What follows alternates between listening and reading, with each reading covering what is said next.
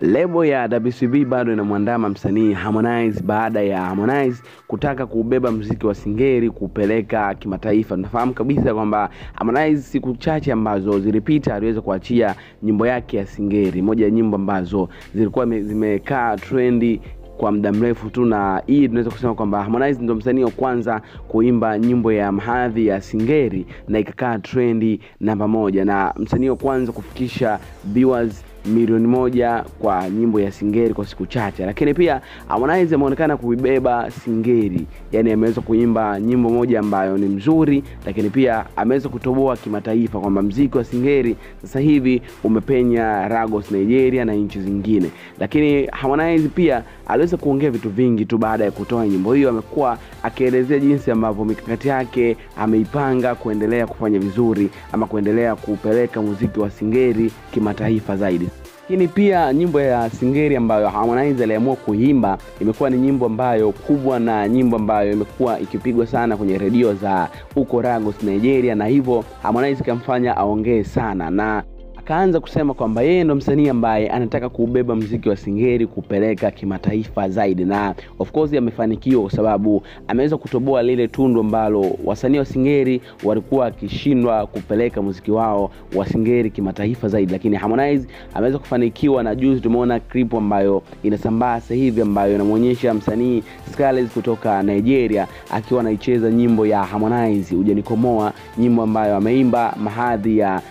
muziki wa Singeli. Sasa baada ya kutoka nyimbo hiyo ya Harmonize, kulikuwa na nyimbo ambayo kutoka rebo ya WCB pale msanii Lavalava aliweza kutoa yenye mahadhi hayo hayo ya Singeli, na tukasema kwamba sasa hivi kweli Singeli inaanza kwenda kimataifa. Sasa Lavalava aliweza kumshirikisha msanii ama nguli wa muziki huo ambaye anafahamika kama Meja Kunta moja ya nyimbo ambazo pia sasa hivi zina trendi sana. Sasa nyimbo hiyo pia imeweza kupata bahati ya kutoboa kimataifa. Nyimbo hiyo imeweza kusikika hadi Marekani, ambapo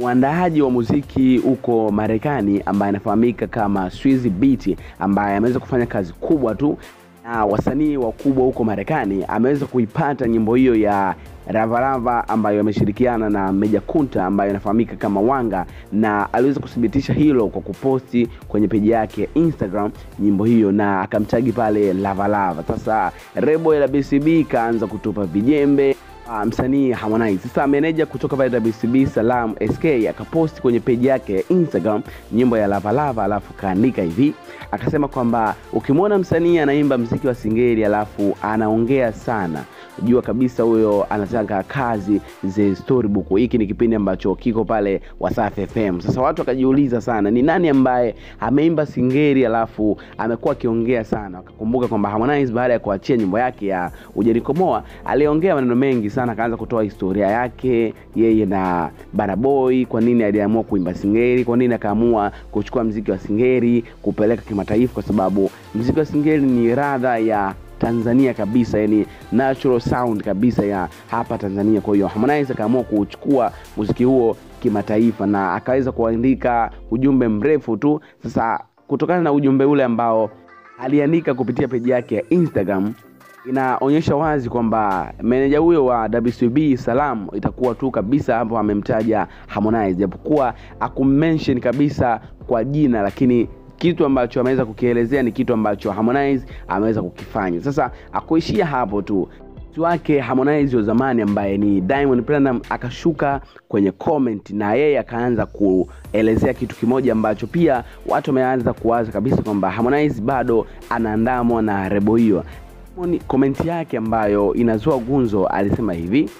hii ndio maana ya kupeleka muziki international, alafu akaachia tusi, alafu akaweka WCB for life, moja ujumbe ambao umeenda kuleta swali lingine kwamba nini ambacho wamekimaanisha msanii huyo, kwa sababu Harmonize ame, ameimba nyimbo yenye mahadhi ya Singeli, lakini imeweza kutoboa kimataifa. Lakini meneja Salamu amesema kwamba Harmonize hajapeleka mziki wa kimataifa kwa sababu yeye amekuwa akiongea sana, na mziki wa singeri hauhitaji maneno mengi, yani unahitaji tu kazi, alafu unakausha mziki wenyewe, basi utaongea. Lakini ukizungumzia nyimbo ya Lavalava sasa hivi bado imetoboa huko kimataifa, kwa sababu producer huyo ambaye anafanya kazi kule Marekani ameweza kuiposti kwenye peji yake ya Instagram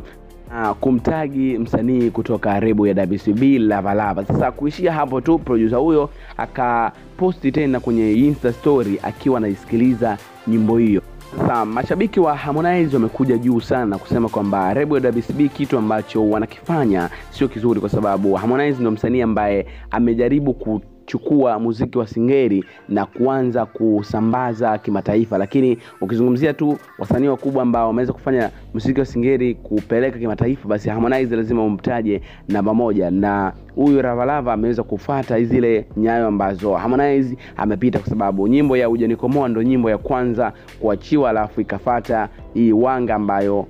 ni nyimbo ambayo ameimba msanii kutoka pale rebo ya WCB Lavalava, lakini WCB wameonekana kumpa vijembe vingi msanii Harmonize kwa sababu ya kujitapa ama kujitamba kwamba yeye ndo mtu ambaye amepeleka muziki wa singeli kimataifa, lakini Harmonize amekausha kimya na hajataka kuanza kuongea, lakini baada ya kutrend nyimbo hiyo ya Lavalava, Diamond Platnumz akaona kabisa ile comment ambayo alicomment haitoshi, akaweka insta story kwenye akaunti yake, akasema hivi, WCB mna roho mbaya sana nyie. Watu wakaanza kushusha comment mbalimbali. Wapo ambao walikuwa wakisema kwamba muziki wa maneno maneno sio mziki ambao ni mzuri, kwa hiyo watu ambao mnakuwa mkiongea ama hizi management mbili ambazo zimekuwa zikiongea sio kitu kizuri, kwa sababu mnaua mziki wa bongo flava na pia mnaua mziki huo wa singeli ambao sasa hivi bado unataka kwenda kimataifa na umeonekana kabisa ni mziki ambao unapendwa na watu wengi. huyo wakipambana, wakikazana, kazi zikaenda, basi ni moja mziki ambao utatoboa na unaweza kuwa ukapita ule mziki ambao ni wa bongo flavor. So hizo ndo stori ambazo zimekuwa zikitrendi. Kwa upande wako, niachie comment kuhusiana na issue ambayo inaweza kukusanua, lakini pia endelea kugusa ile button nyekundu ambayo imeandikwa subscribe na kugusa button yenye alama ya kengele ili uweze kupata uh, taarifa pindi ambapo tutakuwa tumekuwekea.